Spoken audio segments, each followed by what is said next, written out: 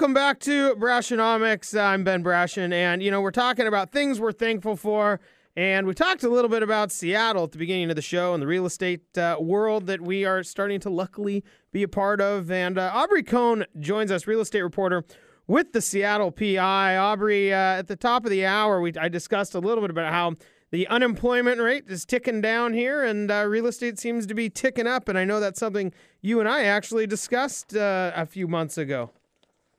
Yeah, you know, it's uh, we continue to have uh, short supply, uh, particularly in uh, Seattle and other uh, close-in parts of King County. Prices are going up, um, and uh, houses are selling quickly. Yeah, I, I well, I see new houses come on the market every day. I'm amazed at uh, some of the prices I'm seeing and uh, how some things, uh, how fast some of those homes are going pending. Yeah, it, uh, it, well, you know that that the lesser amount of inventory that we currently see um, talk a little bit about you know maybe where some of that inventory has gone because you recently wrote an article uh, for the PI uh, published last week about foreclosures. Well, yeah. I mean, one thing, one theory about the lack of inventory is that uh, there are people who can't afford to put their homes on the market because prices still haven't caught up to what they paid back uh, near the peak in uh, 2007.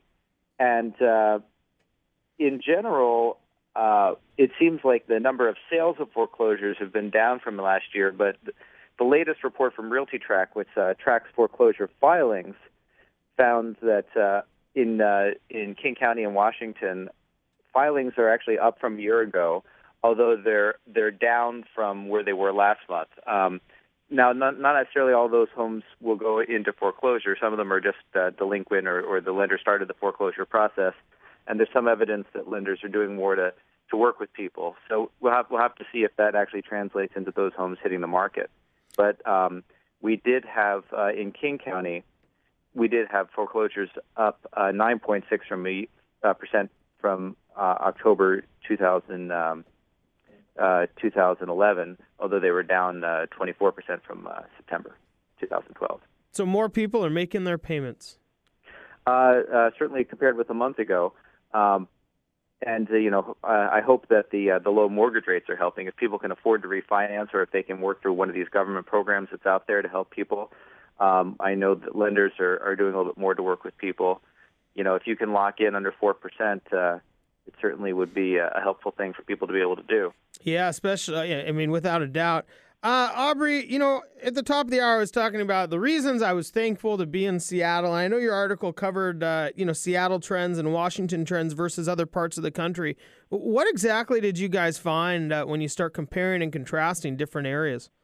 Well, you know, one of the things I wanted to mention is just the stunning difference between King County and its two neighbors, uh, just within the Seattle area. We talk about the Seattle area, and often those include that's King, Pierce, and Snohomish counties. Sometimes it's just uh, King and Snohomish, but uh, the, in King County, one of every uh, 1,082 homes got a foreclosure filing in October. Well, that's um, and that's lower than the nationwide rate of uh, one in every 706 homes. Lower is a funny term here. The, the higher the number, the fewer people are getting foreclosures. Sure. Um, Pierce and Snohomish uh, were 400, one in every 481 homes and 100, one in every 522 homes, respectively. That's like twice as many filings, uh, twice the rate of filings as King County. Uh, so that is a stunning contrast uh, to me. But King County, uh, in particular, and the Seattle area have remained uh, better than what we're seeing in general nationwide, and certainly better than the hardest hit areas. So it really starts to play out that the core areas, of, as we've discussed, tend to be doing even much better than in in more than just prices and uh, also just in that foreclosure world. Yeah, I, I, think you have a couple of things at work. I think one thing is that um, some of the people who were uh, really reaching to be able to afford a home were were out in those outlying areas. Um, I think you also had more of the sort of tract development that got in some ways more overheated than the core areas. Mm-hmm. Um, you know, I, I think those prices have come down a lot more. So a lot people out, out in those areas have found themselves more underwater. Um, I, I, I guess those are probably the two main things I would think. And, and uh, in general, I think there's also been an increasing popularity of being closer to the job center. So I think that's helped to buoy the values uh, in, within King County. Is people are people want to be in a place where they they don't have a long commute. They want to be in a place where when they come home, they can park the car and maybe walk to a restaurant. Well, and after uh, yesterday's debacle of rain and traffic, I think that probably has been reinforced. Uh, you said it, brother. uh, yeah, that was amazing. it, it was amazing. Have you ever seen rain like that? You know, I don't want to get into the weather, but that uh, that was like a monsoon we used to see down in Arizona. Well, yeah, I mean, I'm from Philadelphia, and so one of the things I've always told my you know people back east who say, "Oh, it rains all the time out here." It's like, well, yeah, but it doesn't rain very hard. You know, back east you get these huge storms where if you're outside uh, without an umbrella, or even maybe even with an umbrella, you're soaked in in 10 seconds.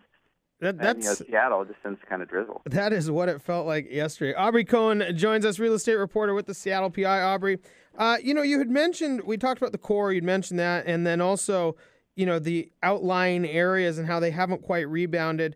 Do you think that's because a lot of those houses you mentioned the tract housing were built in abundance, kind of right towards the right towards the uh, the peak of the market, and so there's just more houses to go through, and and maybe less demand for them?